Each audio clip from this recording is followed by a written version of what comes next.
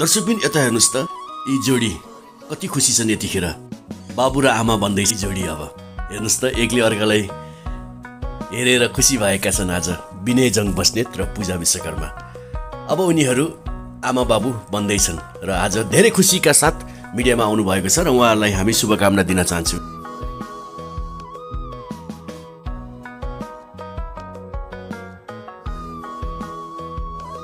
अब हामी अङ्कल चाहिँ कहिले बन्दैछौँ त? हामी अङ्कल कहिले बन्दैछौँ भन्ने को प्रश्न आयो पर्ला होइन मैले होइन मिल्दैन भने ठिक छ केही छैन। मैले डाइरेक्ट भन्न अलिक अप्ठ्यारो लागेर हामी अङ्कल कहिले बन्दैछौँ भनेर मैले ठ्याक्कै इन्डाइरेक्टली रूपमा सोधेको हो कि? हाम्रो कन्फर्म भइसक्यो नि त होइन? त्यही भएर चाहिँ मैले हुन्छ नि मैले फेसबुकबाट लेखेर चाहिँ सबैलाई सरप्राइज दिउँ। उनी उनी आमा बन्दैछिन् अब तिमी। आमा बन्दैछौ अब आमा बन्नको लागि चाहिँ तिमीले आमा अरू खुसी कति पायो कति पाएन। कहिले कति कति महिना छ त हामी? अङ्कल हुनलाई। आमा भएर पनि तिमीले अब सन्तानका खुसीहरू पनि पाउने भएको छौ है। भनेर चाहिँ तिमीलाई बधाई छ। भनेर फेसबुकबाट लेखेर चाहिँ उसलाई विस गरौँ न भन्नाले थिएँ ए। अब भइसकेको छ। अब तिन महिना भए ल बधाई छ। अब चाहिँ आज बल्ल एउटा। ल दुईजनालाई बधाई छ है। अब विनय बस्ने सर पनि अब ड्याडी हुनै हुँदो रहेछ। तपाईँ पहिलो होइन? आमा आमा भन्दै हुनुहुन्छ। धेरै धेरै बधाई छ। राम्रो होस् होइन? तपाईँहरूको सन्तान राम्रो होस्। पनि कसैलाई पनि भनेको थिएन। हामी सीमित हामी भाइ साथी हाम्रो परिवारलाई थाहा थियो। हजुर हजुर। बाहिर पब्लिकमा धेरैजना हामीलाई माया गर्ने हामीलाई हौसला दिने कसैलाई पनि त्यति थाहा थियो। कहिले भन्नुहुन्थ्यो? मैले चाहिँ आज यो हजुरहरूकै चर्चित मिडियाबाट सबै साथीहरूलाई पनि भने। आफन्त इष्टमित्र हामीलाई माया दिने हौसला दिने। राम्रो नराम्रो सोच्ने सबैलाई। उसै नि अब तिन महिना अब म एउटा कुरा सोध्छु ल अब यही प्रसङ्गमा प्रसङ्ग आइहाल्यो होइन? जस्तो आमा बन्दै हुनुहुन्छ विनय सर होइन? अ, के अरे विनय सर ड्याडी बन्दै हुनुहुन्छ होइन? अ, तपाईँलाई छोराको ड्याडी बनिदिउँ जस्तो लागेको छ कि छोरीको ड्याडी छोरीको ड्याडी बनाउँ जस्तो लागेको छ कि? जे भयो नि हुन्छ जस्तो लाग्छ। के छ त तपाईँको विचार चाहिँ यसमा? मत के छ तपाईँको? म मलाई जे भएर हुन्छ सर होइन? हजुर हजुर। म एक दुईवटा क्वेसन गर्छु ल। रिसानी माफ होस् है त। होइन सर। अब जस्तो भाउजू होइन विनय सरले चाहिँ कहिलेकाहीँ खानासाना पकाएर कतिको सहयोग गर्नुहुन्छ? हँ? भन्नै पर्दैन त्यो त। होइन खाना चाहिँ बनाउनुहुन्छ कि न उहाँले? कस्तो बनाउनुहुन्छ खाना? अब उहाँको मुड चल्नुपर्छ। हजुर, हजुर। खाना सधैँ मिठो बनाउनुहुन्छ उहाँलाई खाना पकाउनु न पकाउनु पर्छ तर होइन? पकायो भने मात्रै हो उहाँले पकाउने हजुर, हजुर। अब पनि लाउनुपर्छ होइन। ए ए अँ, म पकाउनुहोस् पकाइ पकाउनु नपकाइ नपकाउनु म त खाँदिनँ खाँदा पनि खाँदिनँ पकाउँदा पनि पकाउँदिनँ भनेपछि अनि फेरि पकाउनुहुन्छ उहाँले। ए खाना बनाउनुहुन्छ मिठो बनाउनुहुन्छ। हजुर मिठो स्पेसली उहाँले पकाएको खानामा चाहिँ के के मिठो लाग्यो त लाग्यो तपाईँलाई? गुन्द्रुक मिठो बनाउँछु मलाई चाहिँ। अँ, सबै मिठो बनाउनुहुन्छ। उहाँले? पकाएको भएर होला मलाई त सबै मिठो लाग्छ होइन। तर होइन आफ्नो श्रीमानले भएर हो कि? त्यही हो? कि मलाई त केही पनि हुँदैन। विनय सर अब म यही प्रश्न तपाईँलाई गर्न चाहन्छु होइन? भाउजूले बनाएको खानेकुरा मध्ये सबैभन्दा मिठो लाग्ने चाहिँ के हो तपाईँलाई? होइन जे पनि मध्ये पनि सबै भन्नु पाइएन एउटा ठ्याक्कै भन्नु पर्दाखेरि एउटा मात्रै चिज। त्यो मध्ये सबैभन्दा मिठो मध्येबाट पनि एउटा चिज भन्दाखेरि? मलाई त्यो उसले चाहिँ नि मलाई जिन्दगीमा मनै नपर्ने उम्, पहिलादेखि नै। तपाईँ म यो मन पर्यो यो मन परेन है मलाई यो मनपर्छ कहिले पनि नभन्ने जे छ त्यो पाक्ला पुग्रो खाएर हिँडिहाल्ने मान्छे नुन पुगे पनि नपुगे पनि जे जस्तो छ उसलाई अहिले पनि सोधे हुन्छ मलाई कहिले पनि कम्प्लेन नै छैन खानामा तर मलाई पहिल्यैदेखि नै बच्चादेखि नै मन नपर्ने भने भ्यान्टा भ्यान्टा र तिते गरेर क्या त्यो चाहिँ मलाई मनै पर्ने थिएन त्यो खाना नपरे नि हुन्थ्यो कतै गएर होटलतिर भात खाँदाखेरि अथवा कतै पाहुनामा जाँदाखेरि अथवा कहीँ जाँदाखेरि पनि आफ्नो घर त चान्सै छैन खाने बाहिर पनि त्यो भ्यान्टा र तिते गरेला खानै नपरे हुन्थ्यो जस्तो लाग्थ्यो पूजाले चाहिँ त्यही भ्यान्टा तिते गरेला किनकि उसलाई मलाई यो मन पर्दैन नपकाउ भन्नु भएन नयाँ नयाँ दुलै नयाँ नयाँ बुहारी होइन? मेरो घरबेटी घरबेटी अँ। अनि त्यसपछि उसलाई अब के के मनपर्छ आफै पकाउ जाउ लिएर पकाउ। भन्छ भन्थे अनि लिएर आएर चाहिँ उनले बिस्तारै बिस्तारै अब भ्यान्टा पनि एक दिन त्यहाँ उयो यहीँ छ तरकारी पसल अनि गएर उसले भ्यान्टा पनि ल्याइछिन् अब तिते गरेला पनि ल्याइछिन् अब किन ल्याएको? यो मलाई मन पर्दैन भनेर झगडा गर्ने रिसाउने कुरो त भएन। अब उसलाई मन पर्ला ठिकै छ उसले पकाउँछ। म चाहिँ नि आफूलाई मन पर्दैन खान्न भन्ने गएको थिएँ अनि त्यसपछिबाट उसले चाहिँ पकाएर लिएर आएपछि त हेर्दै लेदोरो खालको होइन मिठो मिठो लाग्ला जस्तो।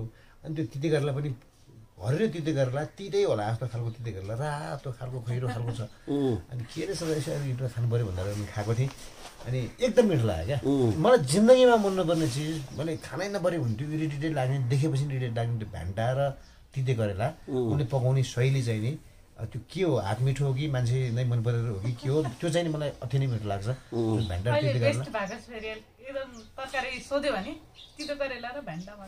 भनेपछि जुन कुरो पहिला मन पर्दैन थियो अहिले आएर त्यही कुरो मन पर्न थाल्यो। त्यही कुरो मन पर्न थाल्यो भन्दाखेरि पनि उनले फेरि त्यहाँनिर एउटा भेन्टामा पाइने चाहिँ नि तपाईँको पोषण तत्त्व र तिते करेलाले ब्लड प्रेसर मलाई अलिक झडङ्ग स्वयं मेरो ब्लड प्रेसर छ ए। अनि त्यसले चाहिँ त्यो पनि गर्छ पनि भनिदिन्। अनि पछिबाट मलाई चाहिँ नि भनौँ न उनले पकाएको हिसाबले चाहिँ नि चाहिँ मलाई त्यो चाहिँ मनपर्छ। भेन्टा तिते जुन मनै पर्ने थिएन।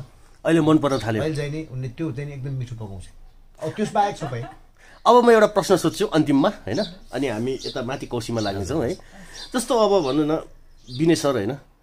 हजुरहरूको विवाह भएको अहिले कति पो वर्ष भयो? एक वर्ष दुई वर्ष हुन लाग्यो होइन? दुई वर्ष हुन लाग्यो अब हामी अङ्कल चाहिँ कहिले बन्दैछौँ त? हजुर। हामी अङ्कल कहिले बन्दैछौँ भन्ने प्रश्न आयो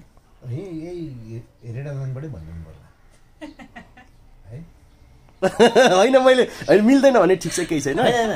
यो मैले मैले डाइरेक्ट भन्न अलिक अप्ठ्यारो लागेर हामी अङ्कल कहिले बन्दैछौँ भने मैले ठ्याक्कै इन्डाइरेक्टली रूपमा सोधेको हो कि? हाम्रो कन्फर्म भइसक्यो नि त होइन? त्यही भएर चाहिँ मैले हुन्छ नि मैले फेसबुकबाट लेखेर चाहिँ सबैलाई सरप्राइज दिउँ। ए। सबैलाई सरप्राइज दिउँ। अब के अरे आमा भएर बाँचिएर सन्तानका खुसीहरू। आमा भएर भोगिएर सन्तानका मायाहरू भन्ने गीत हाम्रो चाहिँ नि रानीले लेखे ऐश्वर्यले लेखेका गीत तारादेवीले गाएकी थिइन्। अनि त्यही गीतको चाहिँ एउटा गीत खोजेर टिकटक बनाएर चाहिँ नि अनि पूजालाई चाहिँ नि ल अब तिमी चाँडै आमा बन्दैछौ। अब आमा हुँदैछौ। ल अब आमा भएर चाहिँ तिमी सन्तानका अब त्यो जुन इच्छा थियो त्यो खुसी पनि तिमीले चाहिँ पाउने भयो। अरू खुसीहरू कति पायो के पायो? तर अब आमा पनि हुँदैछौ है। भनेर चाहिँ सरप्राइज दिएर त्यो टिकटकमा बनाऊ अथवा फेसबुकमा पनि लेखौँ भन्ने सोच थियो सोधिहाल्नु मैले उसँग सल्लाह पनि गरेको थिइनँ। यो कुन दिन आउँछ त्यति बेला म लेख्छु भनेर। सायद यस्तो पनि हुनसक्छ। के हुन्छ भने कहिलेकाहीँ छ नि आफूले चाहेको कुरो। जस्तो आफूले यो चाहे यो गर्छु है भन्ने चाहेको बेलामा त बिचमा त्यो नपुगेर अन्त्यतिरबाट पनि मोडिन सक्छ क्या कथा मोडिन सक्छ क्या के त कथाले ठ्याक्कै माग्यो होइन? मैले चाहिँ एउटा कतैतिर होइन त्यो पनि भन्न मिल्दैन भन्ने केही छैन। होइन मैले त ए, अँ। मैले अँ, अँ। यत्रो भूमिका बाँधेर भनेको तपाईँले होइन हामी म त सिधा मान्छे सिधै बुझ्छु कि त्यही भएर। मैले चाहिँ भनौँ न अब उनी उनी आमा बन्दैछिन् अब हजुर। तिमी आमा बन्दैछौ अब आमा बन्नको लागि चाहिँ नि तिमीले आमा अरू खुसी कति पायो कति पाएन। कहिले कति कति महिना छ त हामी अब अब अङ्कल हुनलाई? आमा भएर पनि तिमीले अब सन्तानका खुसीहरू पनि पाउने भएको छौ है भनेर चाहिँ तिमीलाई बधाई छ। फेसबुकबाट लेखेर चाहिँ उसलाई विस गरौँ न थिएँ ए। अब भइसकेको छ। अब तिन महिना भयो। ल बधाई छ। अब चाहिँ आज बल्ल एउटा ल दुईजनालाई बधाई छ है। अब विनय जङ कसैलाई बस्ने सर पनि अब ड्याडी हुनै हुँदो रहेछ। तपाईँ पहिलो होइन? आमा आमा भन्दै हुनुहुन्छ। धेरै धेरै बधाई छ। राम्रो होस् होइन? तपाईँहरूको सन्तान राम्रो होस्। पनि कसैलाई पनि भनेको। अँ, हामी सीमित हामी भाइ साथी हाम्रो परिवारलाई थाहा थियो। हजुर हजुर। बाहिर पब्लिकमा धेरैजना हामीलाई माया गर्ने हामीलाई हौसला दिने कसैलाई पनि त्यति थाहा थियो कहिले भन्नुहुन्थ्यो। मैले चाहिँ आज यो हजुरहरूकै चर्चित मिडियाबाट सबै साथीहरूलाई पनि भने आफन्त इष्टमित्र हामीलाई माया दिने हौसला दिने राम्रो राम्रो सोच्ने सबैलाई। उसै नि अब तिन महिना अब म एउटा कुरा सोध्छु ल अब यही प्रसङ्गमा प्रसङ्ग आइहाल्यो होइन? जस्तो आमा बन्दै हुनुहुन्छ विनय सर होइन? के अरे विनय सर ड्याडी बन्दै हुनुहुन्छ होइन? तपाईँलाई छोराको ड्याडी बनिदिउँ जस्तो लागेछ कि छोरीको ड्याडी छोरीको ड्याडी बनौँ जस्तो लागेछ कि? जे भयो नि हुन्छ जस्तो लाग्छ। के छ त तपाईँको विचार चाहिँ यसमा? मत के छ तपाईँको? म मलाई जे भएर हुन्छ सर होइन? हजुर हजुर। भनेपछि तपाईँलाई छोराछोरी जे भयो नि हुन्छ। होइन होइन सर होइन। त्यो होइन। त्यो होइन। मैले यो कुरा पनि भन्नुपर्छ। मैले म कतिपय कुराहरू मनमै राखिरहेको हुन्छु म समय आएपछि मात्रै भन्छु क्या सर। हजुर हजुर। छोरी भन्ने नै मलाई एकदम प्यारो लाग्ने शब्द हो। हजुर हजुर। प्रायः जसो अलि नजिकबाट मैले मनले खाएका व्यक्तिहरूलाई यो छोरी भन्छु कतिपय रेस्टुरेन्टतिर चिया खान जाँदाखेरि अथवा कतै जाँदाखेरि म सबैलाई छोरी सम्बोधन गरेर हुन्छु ल थाहा छ। होइन? अनि त्यो मलाई एकदम पवित्र लाग्छ किनकि सानैदेखि मैले छोरीको माया नभएको मान्छे छोरी थियो। र छोरी चाहिँ अहिले अस्ट्रेलियामा छिन् म उसलाई अति नै एकदम सम्मान गर्छु। होइन? मैले जुन बेला बाउ बनेर छोरीको लागि स्याहार सुसार जुन एउटा छोरीलाई बाउ चाहिएको हुन्थ्यो अथवा म पनि बाउ थिएँ नि त वन्छ त्यो बेलामा मैले त्यो चिजहरूबाट वञ्चित अब आफ्नै तरिकाले हिँड्ने आफ्नै पारामा हिँड्ने त्यो अठार बिस वर्ष अगाडिको कुरा। अनि बिस बाइसै वर्षको होला होइन? त्यो बेलामा चाहिँ नि मैले त्यो गर्न नपाएका कुराहरू मैले बिचमा धेरैलाई म छोरी है म छोरी सम्मान गर्दै भन्दै अनि छोरी चाहिँ भन्ने शब्द मलाई मनपर्छ। मलाई छोरी भएर छोरीले नै बाउ छोरी मिलेर बिमारीसीको सेवा गरौँ। बिचमा पनि मैले भनौँ न छोरीको जस्तै फेस भएका छोरीका जस्तै गरेर छोरी नै मान्नु भएको थियो जे होस् त्यतातिर आज हाम्रो छोरी भए तर छोरा भए पनि ठिक छ जे भए पनि। छोरी भए झन्नै राम्रो होइन? किनकि विनयजङले कति गर्दो रहेछ कति इज्जत गर्दो रहेछ भन्ने कुरो त देख्नेलाई थाहा छ भोग्नेलाई थाहा छ होइन। र थाहा छ मलाई जो भए पनि मनदेखि नै बेबारिसीको सेवा गर्ने आमा बाउ छोरी आमा बाउ छोरा मिलेर होइन? सानैदेखि टुकु टुकु टुकु टुकु हिँडाएर चाहिँ नि अनि पशुपति आले घाटमा लगेर उसलाई चाहिँ त्यो लासबाट बेबारिसीबाट सेवाबाट चाहिँ नजिक बनाउने होइन। मेरो बाबाआमाले गरेका काम हो यो मैले गर्नुपर्छ भनेर। अनि त्यो बच्चाबाट चाहिँ नि सबै अरूले पनि सिकुन् होइन? र चाहिँ नि अब विशेष गरी छोरी भइदियो हुन्थ्यो। छोरी भएर लक्ष्मी सर किन पनि भयो भनेदेखि भनौँ सर। भन्नुहोस् न यो किन फेरि उसलाई उसलाई के मनपर्छ उसलाई थाहा होला होइन? छोरी चाहिँ मलाई मैले भने नि मेरो आफ्नो त्यो बेलामा मैले आफ्नो एउटा अभिभावक त्यो गर्न नपाएको त्यो पनि छ छोरीलाई। अझ पनि यहाँ धेरै छोरीहरू छन् धेरै छोरीहरूलाई म छोरी भन्ने शब्द नै मलाई पवित्र लाग्छ। त्यही अनुसारले व्यवहार गर्छु। अब आफ्नो ठाउँमा चाहिँ ती कुराहरू। तपाईँ छोरी चाहिँ नि कस्तो हुन्छ अरे भनेदेखि हामी छोरा। छोरा बाबाआमाले के अरे हुर्काउँदै बढाउँदै लैजान्छ होइन। फेरि छोराहरूलाई फेरि मैले त्यसरी भयो के अरे राम्रो भनेर भन्नु खोजेको होइन। मैले चाहिँ म आफू म आफूमा दाजुको कुरा हो? हजुर हजुर। अनि छोरा चाहिँ म बिहान भनौँ न बच्चादेखि बाबाआमाले मलाई ठुलो बनाए हुर्काए बढाए पढाए त्यो बिहान मेरो अघि नै बच्चाको फोटो हेर्नुभयो त्यसरी बाउको काखमा बसेर बच्चैदेखि यहाँ पाराको होइन। बाउसँग छु म एकदम। पुरै बाघ छातीको बाघ? जस्तो होइन? बाउसँग बाउ र आमासँग छु। मेरो बाउमा भएपछि मलाई कोही केही चिन्ता छैन भने जस्तो तरिकाको फोटो पनि थियो नि त मेरो बच्चाको फोटो भनेपछि त्यो तरिकाले बाबाआमाले माया गरेर हुर्काएर बढाए। अलिक ठुलो भएपछि स्कुल पढ्न थाल्यो। त्यसपछि एउटा पन्ध्र सोह्र वर्ष हुन थाल्यो। म नागरिकता बनाइदिएँ भनिन्छ। भन्यो होइन। नागरिकता बनाइदिएपछि अनि त्यसपछि यताउति कता कतासँग के के हुन्छ होइन? नागरिकता बनाएपछि अनि फेरि बिहा गरिन्छ। अनि बिहा गरेपछि अनि आफू बाबुआमाको भन्दा श्रीमतीको भइन्छ। होइन? अनि त्यसपछि भइयो होइन? अनि त्यसपछिबाट के के गर्दै गर्दै गर्दाखेरि अनि अलिकति ठुलो भएपछि ए बाबु यस्तो गर्दैन त तँलाई यसरी हुर्काएको यसरी लिएर आएको भनेपछि छोराले चाहिँ नि क्या? अनि अलिक ठुलो भएपछि सबै सबै छोरा त्यस्ता छैनन्। कोही एकदम इमान्दार वफादार श्रवण कुमार जस्ता छोराहरू पनि धेरै छन् समाजमा। उहाँहरूलाई त एकदम एकदम नमन छ। तर कोही कोही छोराहरू होइन अनि अलिक अलिक ठुलो भएपछि अनि मेरो नागरिकता बनाइदिएँ। नागरिकता बनाएपछि अनि बिहा गरिन्छ। बिहा गरेपछि अनि अलिकति घरमा ऊ भएपछि अनि ल भएन अब। अब मेरो अंशले होइन? अनि नागरिकता छँदैछ अंश माग्दैछ अनि अंश अंश माग्दै यताउति गरेर बाबामा झगडा गरेर छुट्टै बसेर मर्ने बेला मेरो बुवामा पनि बितिसक्यो मलाई छोरी मनपर्छ भने। छोराले प्रायः जस्तो छोराहरूले त्यस्तो देखिन्छ नि त। कतिपय मैले आश्रमसँग नजिक भएर चाहिँ आश्रममा बस्ने बाआमाहरू मेरो बाबु छोरा त्यस्तै थियो के गर्ने हुर्काइयो बढाइयो ठुलो भयो अहिले आश्रममा भन्ने खालको कुराहरू आएछन् क्या अनि छोरीहरू चाहिँ कस्तो हुन्छ भनेदेखि सर हुर्केर बढेर ठुलो भएर उसलाई आफूले रोजेको केटासँग ऊ पहिल्यै जाओस्। ए हाम्रो इच्छा विपरीत बाबाआमाको इच्छा विपरीत बिहा गरेर ऊ अन्तै लुकेर बिहा गरोस्। जुनसुकै जातसँग बिहा गरोस् जहाँसुकै पुगोस् ऊ बिहा गरेर। हाम्रो इच्छा मारेर उसले चाहिँ नि लुकेर बिहा गरेर जाओस् अथवा जेसुकै गरोस् हामीले भने जस्तो नगरोस्। तर सर बाउ खुवाउने औँसी र आमा खुवाउने औँसीमा उसले होइन बाउ र आमालाई सम्झेर एक काइयो केरा एक पुर्रे बिस्कुट मेरो बाह्र आमा छन् है भनेर सम्झेर ल्याएकै नै हुन्छ। कतै न कतै बसेर मेरो बाह्र आमालाई कस्तो छ ठिक छन् तिनीहरू? ऊ गरिब भएर बाटोमा पुगे पनि अथवा धनी भएर ठुलो महलमा पुगे पनि बाउ खुवाउने औँसी आमा खुवाउने औँसीमा चाहिँ नि छोरीहरूले बाला कहिले पनि बिर्सिँदैन। मलाई चाहिँ त्यो चाहिँ छोरीको त्यो विशेषता लाग्छ। त्यही भएर छोरी चाहिँ मलाई अत्याधिकै मनपर्छ। अनि छोरा भयो भने त झन् मेरै छाती जस्तो हुन्छ होइन? केही फरक पर्दैन। छोरा र छोरी जे भए पनि हुन्छ। अब यही प्रश्न म भाउजूलाई गर्न चाहन्छु होइन? हजुरले चाहिँ के चाहनु भएको छ? छोरा चाहनु भएको छ या छोरी चाहनु भएको छ? यो नै होस् भन्ने मेरो चाहना छैन होइन मात्रै एउटा चाहिँ हुनु पर्थ्यो भन्ने सबैजनाको सल्लाह अनुसार अब चाहिँ सबैजना भन्नाले दुईजनाको भन्नुहोस् न सबैजना धेरैजना लाग्छ। होइन हामीलाई सल्लाह दिने परिवार। माया गर्ने मान्छे हुनुहुन्छ, उहाँहरूले अब कसैले अङ्कल बन्नु पर्यो कसैले मामा बन्नु पर्यो टिकटक लाइभ पनि बस्नै हुँदैन थियो होइन? कमेन्टै यही हुन्थ्यो प्रश्न पनि यही हुन्थ्यो। तर जेस अब हुन्छौ छिटै भन्ने जुन हामीले पनि जब थाहा पायौँ होइन एकदम खुसी लाग्यो। छोरा भए पनि ठिक छ छोरी भए पनि ठिक छ तर छोरी होस् भन्न चाहन्छु म पनि होइन। ए भनेपछि तपाईँहरू तपाईँहरू दुईजना छोरी नै कुनै जमानामा कुनै छोरीलाई मेरो दागोती दिने छोरी हो भनेर जब मान्नु भएको थियो होइन बिचमा जे भयो त्यसलाई छोडौँ। अब हामी मरेपछि हामीलाई दागोती दिने हाम्रो छोरी नै होस् भनेर म त छोरी नै मलाई त्यो बेलामा उनको कुरो त्यो हो दागबत्ती दिने मेरो यिनी मेरो छोरी मात्रै होइन नि छोरी होइनन् मेरो छोरा। मलाई दागबत्ती दिने छोरो मलाई मर्या बेला तँलाई कसले दागबत्ती दिन्छ भने तँलाई कसले चाहिँ तेरो लास उठाउँछ तेरो चाहिँ भनौँ न क्रिया कसले गरिदिन्छ भनेर चाहिँ त्यो तँलाई मर्या बेला दागबत्ती कसले दिन्छ त भनेर सोध्नेहरू हुन्थे। अनि मैले ती छोरीलाई यी मेरी छोरी होइन नि छोरा हुन् मेरो दागबत्ती दिने तिमीहरू को दिन्छ भने होइन मेरो छोरो यही दागबत्ती दिने आइसक्यो। व्यवसायीलाई दागबत्ती दिनु लगाएँ।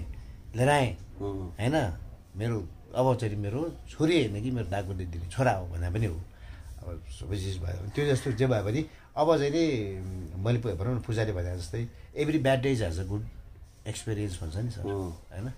सबै के अरे ब्याड डे के अरे नराम्रो दिनहरू दुःखको दिनहरू चाहिँ एक्सपिरियन्सले राम्रो हुन्छ। Past is my best teacher मेरो एउटा टिचर पनि भयो मेरो विगत भने मेरो लागि एउटा शिक्षा पनि भयो। अर्को कुरो that is my bad day not my bad life हिजोको दिनहरू मैले त्यो त्यो त्यो भोगेका दिनहरू मेरो नराम्रो दिन मात्रै थियो नराम्रो जिन्दगी त होइन रहेछ। मेरो जिन्दगीमा तपाईँहरू आउनुभयो पूजा आइन् घरलाई फेरि पनि एउटा पार्टी जस्तो खण्डहरू जस्तो भइसक्यो घर फेरि घर जस्तो भयो। यो घरमा मेरो भाइ मेरो बहिनीहरू दाइ नै छैन। घरै कस्तो छ? भत्किन लागिसक्यो यस्तो छ अरे? भनेर यही वल्लो घर पल्लो घरतिर आउँथेँ। यही दसैँ कति? दसैँका टिकाहरू मैले घरभित्र मलाई म मेरो घरमा पनि कोही टिका लाउन आइदियो हुन्थ्यो। मेरो घरमा पनि मेरो बहिनीहरू ज्वाइँहरू आएर यसो भनौँ थोत्रै भए पनि लुगा यसो धोइधाइ बनाएर लाएर होइन पल्लो घर पल्लो घरबाट जमारा मागेर ल्याएर अनि यति चामल अक्षता मुछेर चाहिँ टिका लाउन दस बिस रुपियाँ बुवाको किनकि बुवा सम्झेर आउने हो नि त घरमा। कोही आयो भनेदेखि टिका लगाइदिनुपर्छ मैले पनि भनेर म घरमा एक्लै हुन्थेँ। तर पनि यसो बाटोमा हेरेर झ्यालबाट बस्थेँ। कोही पनि टिका लगाउन आउँथेनन् क्या। त्यस्तो भइसकेको थियो नि त। जस्ट बिकज अफ माइसेल्फ होइन मेरो कारणले गर्दा हो। अब त्यही भएर चाहिँ नि म कसैलाई दोष दिन्न किनकि मैले अघि नै पनि भनेँ होइन म फेरि पनि भन्छु यदि आफ्नो गल्ती छैन भनेदेखि रिसाउनु पर्ने जरुरत पनि छैन। र आफू गल्ती छ भनेदेखि फेरि त्यसमा भनौँ न के अरे रिसाउनु पर्ने अधिकार पनि छैन भने जस्तो होइन। त्यही भएर चाहिँ नि मेरो आफ्नो कारणले गर्दाखेरि मेरो विगतका पन्ध्र बिस वर्ष अगाडिका दिनहरू भए त्यही भएर म जे भन्छु मान्छेको खुसी जीवनमा आउँछ त्यो आफ्नै कारणले आउँछ मान्छे दुःखी जीवनमा आउँछ त्यो आफ्नै कारणले हुन्छ। आज जे छु मलाई भनौँ न पछिल्लो समयमा तपाईँहरूसँग भेट भयो फेरि पनि बाँच्न पाएँ फेरि पनि हिँड्न पाएँ फेरि पूजा आइन्। त्यही भएर मेरो त नराम्रो दिन मैले पार गरेँ। तर नराम्रो जिन्दगी त होइन रहेछ नि त। जिन्दगी त अझ बाँकी रहेछ। हिजोको दिनमा म पट्ट मर्दै भएँ मलाई मार्न खोजेको थिएँ सिधाउन खोजेको थिएँ। हिजो कतै गएर मैले आत्महत्या गर्दै भएँ होइन? ए जिन्दगीमा फ्रस्ट्रेसन सबैलाई राम्रो गर्न खोज्छु। आखिरमा मलाई नै नराम्रो बनायो। के बाँच्नु यस्तो जिन्दगी भनेर मैले कतै गएर आत्महत्या गर्दै भएँ कतै गएर म हाम फाल्दै भएँ अथवा कतै गएर ए भनेर गर्दै भएदेखि आजको यो दिन आजको फेरि पनि मैले बाँचेको दिनहरू अहिले लाखौँको लागि सपना हो क्या सर? होइन मैले बाँचेको दिन भनौँ मैले बाँचेको अहिलेको जिन्दगी धेरैको लागि सपना पनि हो। किनकि हो बिने मरिसकेको थियो सिद्धिसकेको थियो फेरि बाँच्यो। हामी पनि त्यस्तै भएर बाँचौँ न। हामी पनि त्यस्तै खुसी हुँ न। दुःख उसलाई कति छ विनयलाई हामीले देखेका छौँ। तैपनि दुःखमा पनि खुसी हुन जाने मान्छे त्यो विनय हो भनेर भन्नुहुन्छ क्या मेरो साथीहरूले मलाई। होइन दुःखमा पनि खुसी हुन जाने आशा चाहिँ यार छ?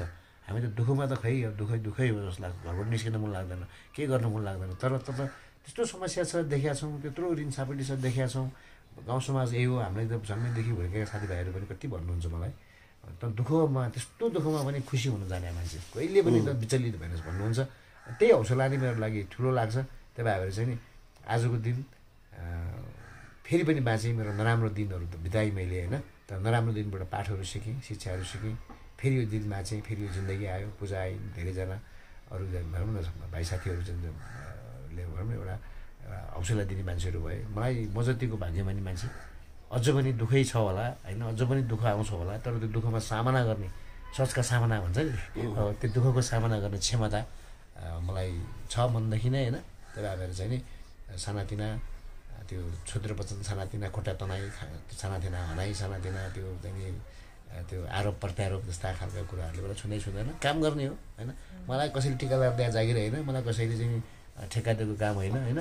मनदेखि नै आफ्नो बाउको पैतृक सम्पत्ति जम बन्देकी राखेर ऊ पछाडि आश्रम बनाउँदैछु। सात आना जग्गा छ सर। साधारण जग्गा त्यो जग्गामा पनि हेर्नुहोस् न त्यसरी अब गरेर चाहिँ मनदेखि गरेका काम हो। त्यो भएर चाहिँ मलाई कसरी टिका लाग्दा जागिर होइन। नियुक्ति मैले लोकसेवा पास गरेर खाएको जागिर होइन। मनदेखि नै स्वार्थ तरिकाले सेवा गरे हौ।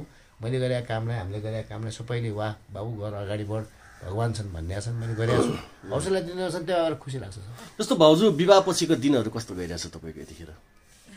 विवाह पछिको दिनहरू धेरै रमाइलो तरिकाले काम गरिरहेको छौँ। त्यस ठिक छ। हस् धन्यवाद छ यहाँहरूलाई।